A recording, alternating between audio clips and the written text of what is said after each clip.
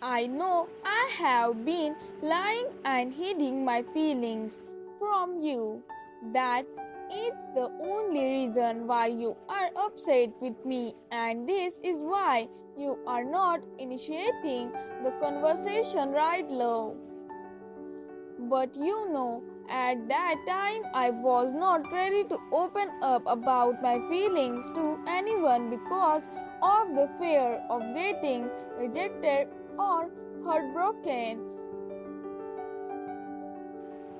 That's why I keep my distance because I wanted to be sure that you truly love me just the way I do, and it is not just a physical attraction or infatuation.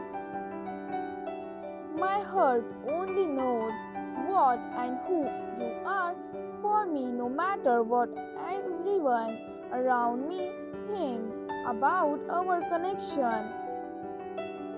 I don't wanna be alone and separated from you because I know how much you have loved me during the darkest and struggling phase of my life. Thanks for watching and please subscribe for more upcoming channeling.